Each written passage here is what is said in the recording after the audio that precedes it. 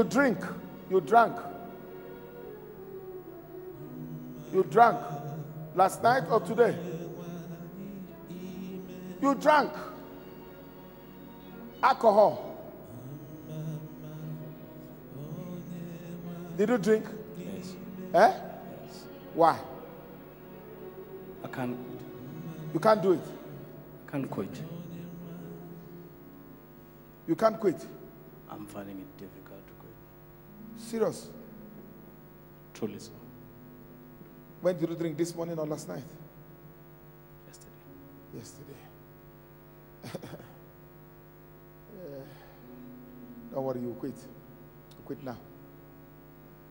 Quit now. Quit now.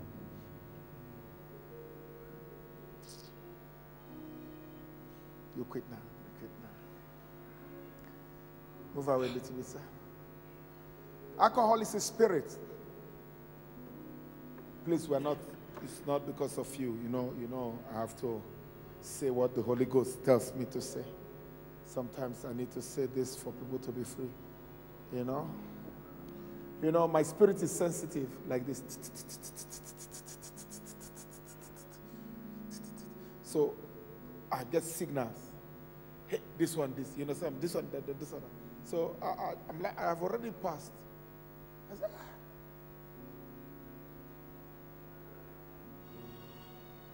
It's the spirit of alcohol.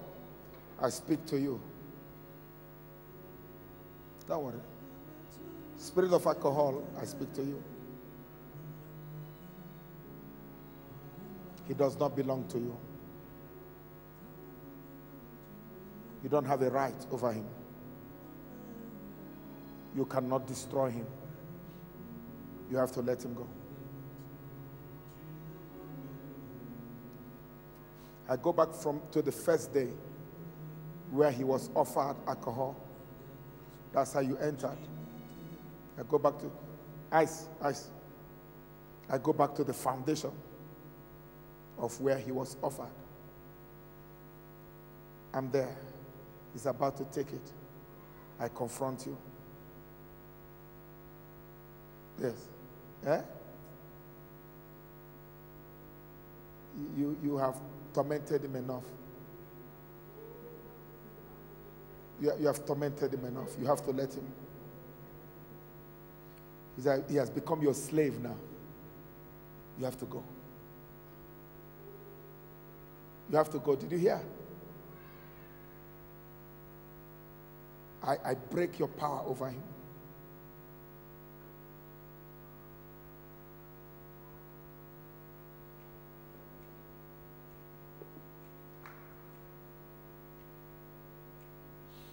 It's over. You cannot control him anymore. Come out.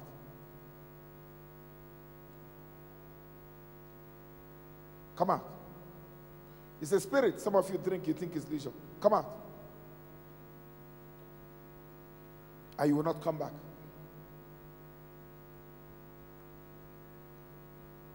I see, a, I see a half bottle. I see a half bottle even in the house.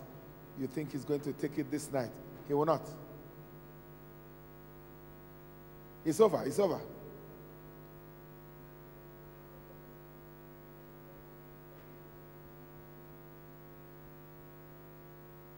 Did you hear? Are you ready to go? Are you ready to go? Whether you're ready or not, you have to go.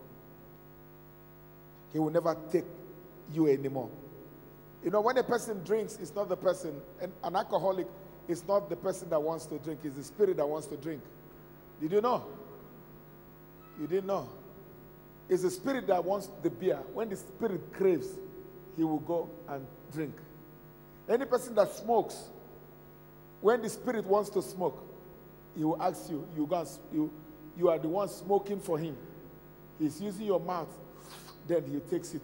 So, ah, like the drink here. Get me a bucket. What? For? Bucket forward. You will see.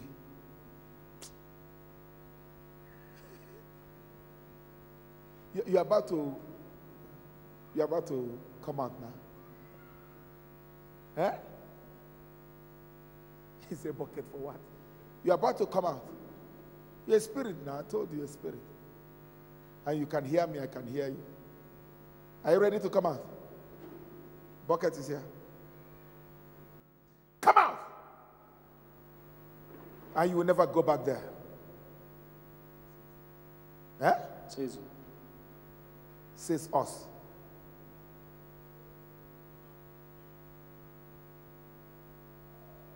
He will never test alcohol. He will testify on Sunday that he can't touch it anymore. Okay, come out. Come out.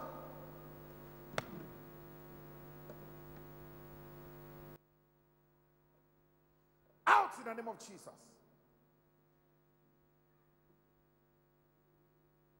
Out in the name of Jesus.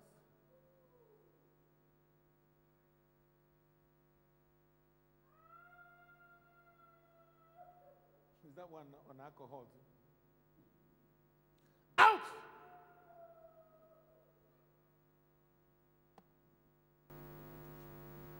Hmm? Don't touch me. You must never ever touch me.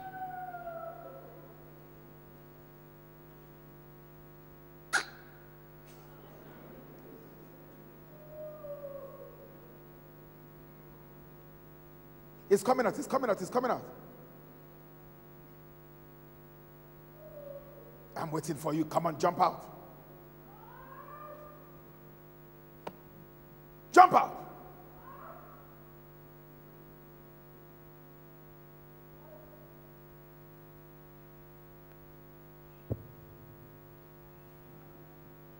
Yes, yes, yes. Jesus wants you out. The bucket is there. Eh? Forward. this chap. Say this chap. I rumble it, I rumble it. Come on. I cause confusion there. I set it on fire.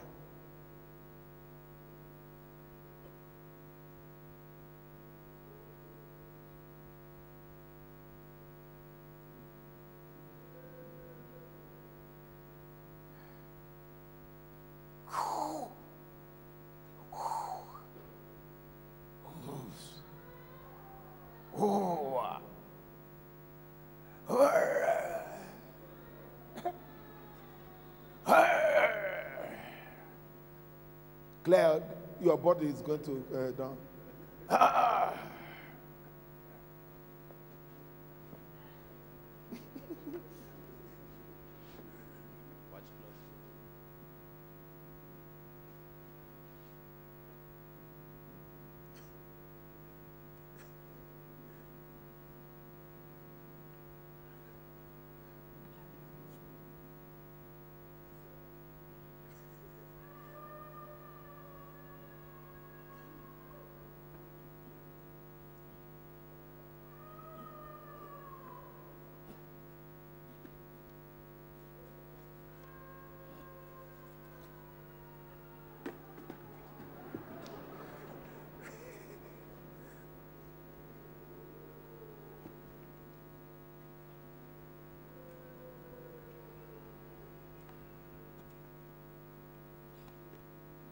Keep it down. Put it down.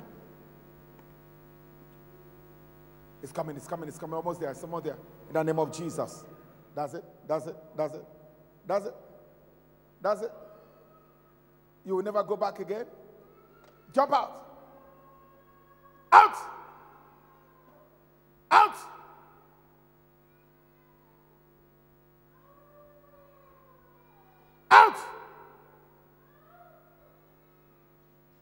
In the name of Jesus, it goes. It goes.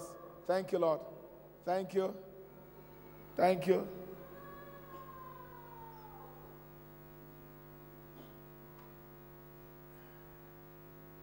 The bucket is there.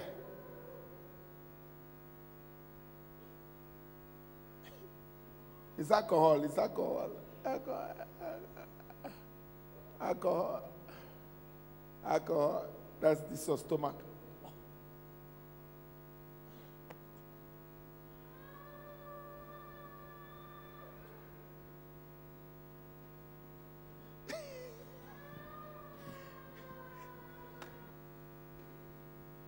It's finished. One more.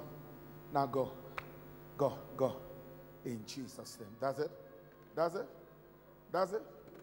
That's it. That's it. Come on, I uproot what my father has not planted. Everything that my father has not planted. Come on, be uprooted. Be uprooted. Does it? Does it? Does it? Does it? Does it?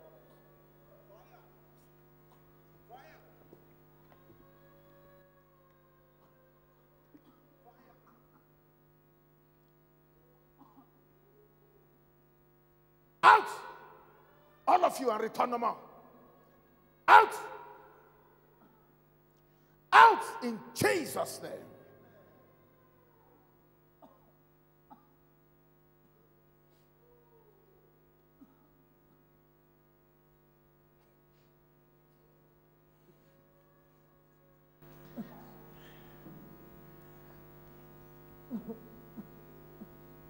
All of you, all of you. No more Hennessy, no Castle Lager, no whiskey, no brandy, no schnapp, no. What, what's the names? All those ones people drink. Red, red? No black label. Johnnie Walker, you are walking alone.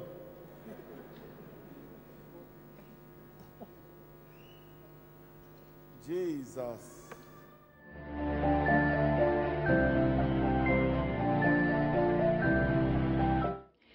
Ambassador, thank you so much for joining us right here in the ATV studios. It's always a pleasure to have you. Now, today during service, uh, God did something amazing for you. But first of all, please introduce yourself. My name is Marty, Isaac Marty. I'm a member. In fact, I'm the son in CAC. Mr. Isaac, it's it's one of those deliverances that you've just had, and God touched on a very personal, private issue. Would you kindly highlight um, the whole incident to us, sir? No, it it it basically revolves around my drinking of alcohol, and uh, it comes a long way. Definitely, it comes a long way, and it has been a struggle. It has been a struggle for for the better part of my years being a Christian. And I think also it has been a cause of many unpleasantries in my in my home. Um, and I, I think today, um, God just vindicated me. He vindicated me. I- Remember uh, how the enemy operates. The, the enemy operates in secrecy. You know, we, we can come here to church, we can, we can appear to be nice, putting on our suits, but there are these things that the enemy has a secret pact with us, a pact with us, to say that you can do anything but this one. We do it secretly, you and I, you know about it, isn't it? So that's, it, it has been part of what I would say a pact, a secret pact with the enemy. But I'm glad that it came out. And, and I'm glad that um, um, the man of God pinpointed it and dealt with it. That is what I can say. Absolutely, sir. And um, you highlight some key points that I would just like to delve on. You mentioned that it's been a an issue, a major issue in your life, as well as a major contributor of some of the things in your home. Would you kindly shed light on first that issue, and then we move on next to the what it would cause you to do in the home? Mm, look, I, I, I've got, I've got. My wife is a down-to-earth person, very nice person. Um, you know, drinking. It wasn't that bad in such a way that I would, you know, um, cause fights and so on. But I would be short-tempered, you know. I would have a short fuse indeed. That um, should anything happen, it would just quickly upset me. And, um, you know, I would end up being at loggerheads with everyone. But, but not to a point of physically fighting with my wife or the children. And, and that's the part of it that I didn't like. I didn't like that part. But other than that, I was just occasionally drinking, you know. And then when you talk about the secret pacts, that, that the enemy had you on, literally on a leash. How did this come about? What would happen? So why do you call it a secret, uh, secret pact? No, that, that's how I term it. Uh, uh, let me tell you, it's happening with not only me, but many Christians. It's happening. Um, it's happening. You, you, you become fortunate if you are pointed out like myself. Consider yourself fortunate because there are other people in other churches that are doing these things and um, they go to churches normal. You know, they sing hymns and they pray like everyone. But, but we know that on that particular day when God comes, these things are going to come to the fore. So I consider myself to be lucky that mine will not come out on the great white throne. it has come out now, it's under the blood. Amen. Under the blood of Jesus Christ. Under the blood of Christ. Amen. Now, now, sir, but we just want to take back to when this started out because when, when, when, the, when the man of God, Bishop Dr. Idah Peterside, was praying for you, he had to take, he had to go back to the roots, to the very day you indulged your first glass of alcohol, or rather, you tasted it. We're not so sure whether it was peer pressure, but what was the setting like? How did this come about? Um, you know, mostly, most of us in, in my time, uh, the time of my teenagehood, these things they started on school trips. You know, when when your parents pack um, um, some provision for you, you secretly pack also some provision of alcohol for yourself and your bodies at that time. So I think that is where it started, and um, much more influenced by the companion, the companionship that one keeps. And um, from that time, it went on and on. It went on and on until as we speak. As we speak, as you say, but then God has dealt with it. We thank God for that. But would you drink to a drunken stupor, or was it something that you could control? No, no, no, no. You know what? This thing comes with. Uh, I, I'm, I'm one guy who would like to do things decently. So I, I was drinking decently. if, if, if I put it blunt, I would say uh, I was a decent drunkard. uh, and, and, and let, allow me to say this that um, alcohol has been in in our in our day and age i- i- it has been idolized. Uh, that's why you find um, um, everyone they partake in it uh, celebrities they partake in it. It's, it's it's a way of life you know so so there's nothing wrong with it. You, you, just drink and you come to church and it's business as usual. Yes. Now, uh, sir, before we before we close this um, short talk, would I'd just like you to extend that that word of wisdom and advice to a whole lot of young people who are very young and about to indulge and try and into experiment with all these things. And at the same time, I'll ask you to just address people who are already in it and they want they want help now. Look, um, let me start with the last. Um, people that are in it, in fact, let me start with the first. Um, people that would still want to experience it, I would say rather not, because it's that thing is addictive. You you take a sip today, you might think that no tomorrow you may not. But that edge when it when it grips you, um, you will find yourself on a continuous roller coaster. And rather not indulge, rather not take it at all. And uh, to people that are in it, um, you, you see, sometimes you can't give physical advice to spiritual things. spiritual things are, are dealt with spiritually. So, um, like like um, Dr. Idah Peterside said, it's a spirit. I would say they must seek help, spiritual help, uh, because these things they start in the spirit and cascade in the physical. So, if they are to be dealt with, they get dealt with first in the spirit, and then you cascade to the physical. The physical is now the day to day. When the edge comes, there's that question what do I do when the edge comes? But I've got confidence in the fact that it has been dealt with spiritually.